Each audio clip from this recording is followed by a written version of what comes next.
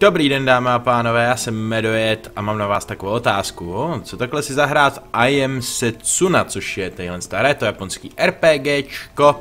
Teda tady se válí nějaká zajímavá věcička. No a je od Square Enixu, což je vlastně společnost, co dělá Final Fantasy. A kromě toho je to jakoby spirituální nástupce Chrono Triggeru, já si vyměním nějaký lidi v partě. Tak, Chrono Trigger, jestli nevíte náhodou, tak to je asi nejklasičtější... Backslash? Hmm. Nejklasičtější prostě jap, eh, JRPG, co nevím, ze všech pomalu mám pocit. Takže rozhodně jako je na čem stavit, když někdo řekne, že je to jako jejich jeho spirituální nástupce. Dobrý, všichni už vybouchli, tak nic. Takže Eh, to je, jakoby klade docela vysoký nároky tady na tu hru, který si myslím, že jak úplně nesplňuje. Chrono Trigger mi přijde jako o něco lepší hra, docela možná i výrazně lepší, ale to je dohromady celkem jedno, protože jako japonský RPG je tohle rozhodně solidní hra, jestli máte rádi tenhle žánr, tak se určitě vyplatí se na tohle to tak nějak podívat. Já mám spoustu nových, wow, útoků, takže si je chci tak nějak vyzkoušet. Bohužel to zatím nevypadá, že by byly nějak extrémně, wow, efektivní, tenhle ten vypadá docela zajímavě. To mi teď léčí MP, že jo, ten damage, to je cool. Ale, jo, docela dobrý. Mám nějaký nový zbraně, tak jsem teď koupil v té vesnici, takže jsem docela zvědavý, jak jsou efektivní. Jo, takže soubojový systém je vlastně klasický, uh, tak nějak, že se vám tady, jak vidíte, nabíjejí nabíjí čas a potom, když se ten čas nabije, tak si můžete vybrat prostě nějaký útok, že jo, a já si teď vyberu třeba X-Strike. A jak vidíte ty svítící tečky vedle těch eh, symb nebo nad těma symbolama prostě kulatejma, tak ty se vlastně nabijou, když nějakou dobu čekáte s tím nabitým eh, časovým tím, časoměrem prostě. A potom, když zmáčknete eh, nějaký speciální čodlík, v tu chvíli, když to tak jakoby za, zaleskne se, což jsem teďkon netrefil, jo, hádám, že to bylo, protože to jsem utočil s Enderem, ten to zrovna jako jediný neměl, no. Každopádně potom dostanete prostě bonusový damage k tomu vašemu útoku, když to zmáčknete ve správnou chvíli, ten knoflík. Uh, čili to je docela standardní systém, je tu prostě kombo, že jo, který funguje prostě když to, uh, když se vám dobijou dva ty, čekat, tak to můžu dát těch Ariel Strike, jsem na něj asi. Jop, takže kombo, že jo, který prostě funguje, když mají dva lidi nabitý útok a prostě někdo spolu může spolupracovat, někdo ne, že jo, když máte healera, tak logicky může spolupracovat nějakým panem válečníkem na tom, aby léčili společný tým a tak podobně, takže docela takový standardní věci. Teď ku příkladu vezmu healera, kdo má tady nejvíc HPček, ty máš do úplně plno. A jak si místo toho vezmeme healerku, Čeká, teď mě zaregistrovali ty monstra, což já nechci, protože to se vyplatí takhle na ně naběhnout jakoby ze zadu. Dáme si cyklónek hezky. Tak vidíte, teď se mi to povedlo zmáčknout, bylo tam to, že se vlastně přidal psychický damage, dáme si Cure 2. Kaž to? No jo. Heal pro všechny úplně maximální, ideální. Čekat, to se mi víc vyplatí dát charge, no. Čili prostě vybíráte útoky a je tady hraje, hraje tady roli docela i ten eh, positioning, což tak nějak vidíte hádám. A to mi přijde docela cool, protože vím, že většinou tadyhle v JRPGčkách tak uh, prostě není jakoby žádný positioning, prostě stojíte vy a naproti vám stojí ty monstra. Uh, a ne, že by tady člověk mohl, jo, chci ponechat ty komba, uh, že by tady člověk mohl nějak úplně ovlivnit, kde přesně stojí, ale můžete si zapamatovat třeba, který útoky odhodějte nepřátele, já jsem se ještě neskoušel, který útoky uh, vás posunou, který útoky je posunou, takže je tady určitě s čím pracovat což je prostě fajn, díky tomu je ten soubojový systém uh, zajímavější pochopitelně a bez zajímavého soubojového systému je jakoby k ničemu to japonský RPGčko vždycky, takže jakoby je docela důležitý, aby to tak nějak bylo relativně, aspoň relativně OK. Jsem rád vždycky, když mám konečně ten plošný heal, mhm. Až bohužel to časově se mi to úplně nevyvedlo tady.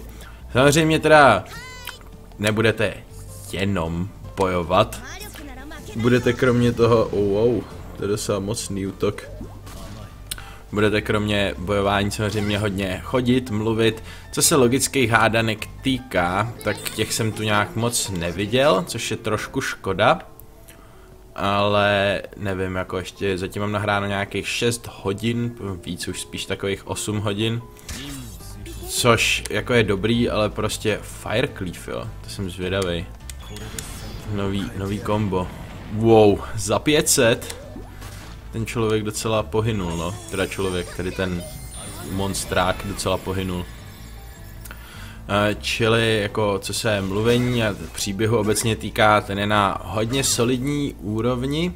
Samozřejmě nejsou tu teda, jako už to tak bývá v japonských RPGčkách, nejsou tu žádný uh, vlastně ty dialogové možnosti, nic podobného.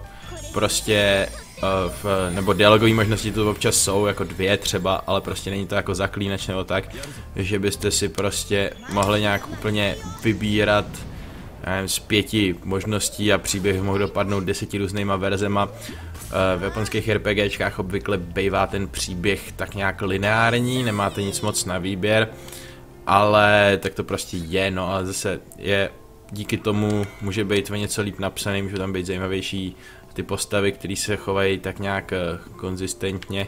Vydat, tady máme jeden save point, to je fajn, že vám můžu ukázat save point. Takhle vypadá. Kromě nich můžete saveovat eh, ještě v, vlastně normálně na tom, na světě, prostě na té mapě. A myslím, že tady někudy se budu moct dostat k té truhle, co jsem předtím viděl. Ne? Tak možná ne. Což je trochu škoda. Jo, možná tady. Jo, jo.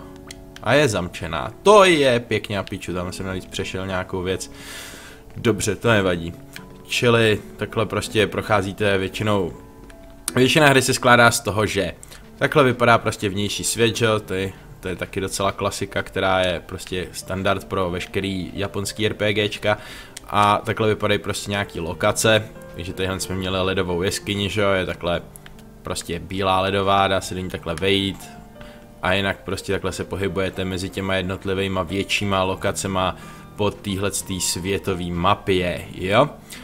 A teď myslím, tadyhle v tomhle tom městečku teď bude myslím, nějaký stuna rozhovoru a podobných věcí, které já vám nechci ukazovat, protože fucking spoilery, že jo?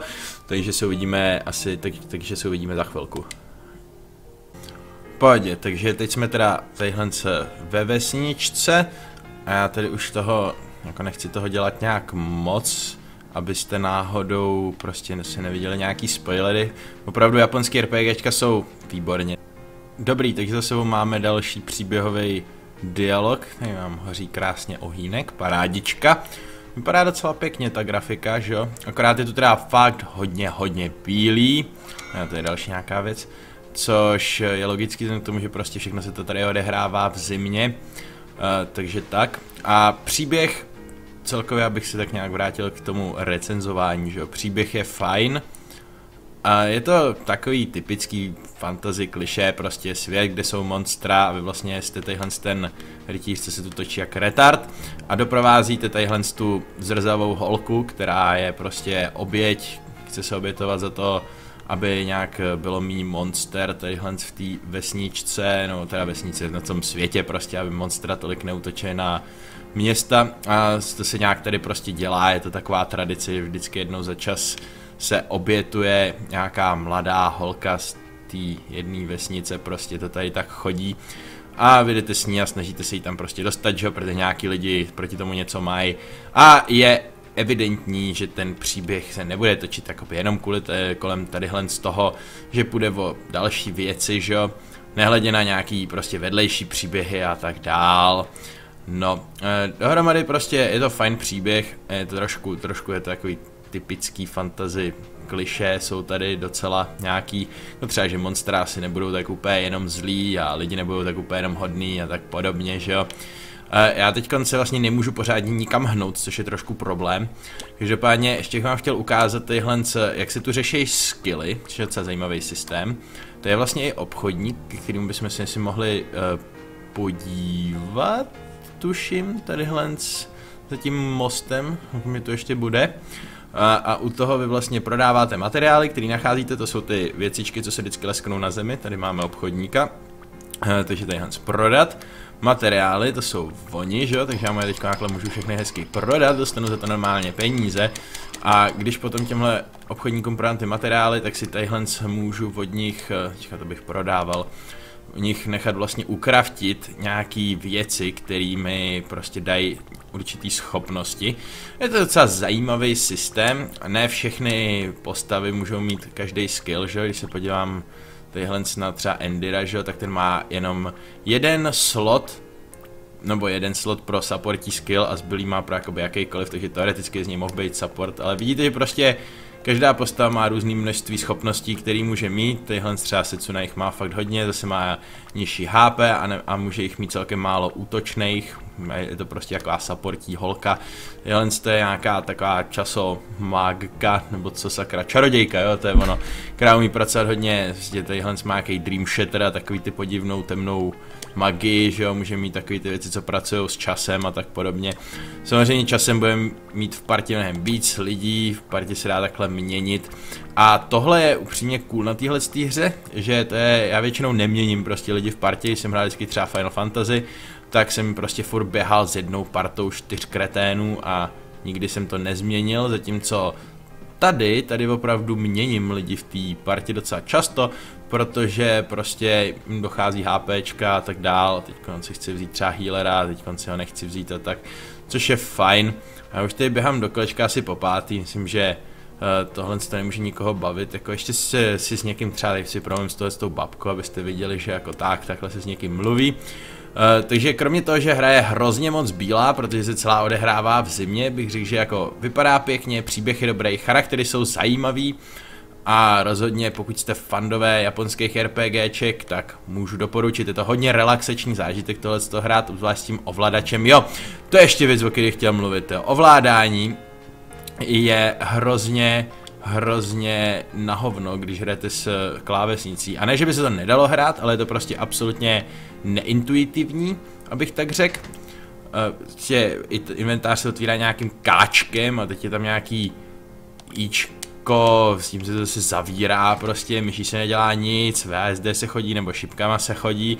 Když zmáčknete escape, tak to chce okamžitě ukončit hru, což eh, je docela zvláštní, že když třeba jste ječkem se otvírá inventář a když zmáčknete escape potom, tak prostě to chce ukončit hru, ne že by to zavřel inventář, ten se dá zavřít jenom eh, káčkem, že ječkem se otvírá, káčkem se zavírá, to jsou prostě takový zvláštní, nevím, zvláštní ovládání podle mě, ale dobře, to prostě se dá přejít, s ovladačem se to hraje naprosto krásně a s myší a klávesnicí se na to člověk hádám zvykne, jako co je zase problém je, že já nevím, tady není ani žádný nastavení pořádně, nebo jsem nepřišel na to, čím se otvírá, ty si nemůžete přenastavit uh, prostě ty klávesy, kterými se dělají ty jednotlivé věci, což je prostě na hovno, no.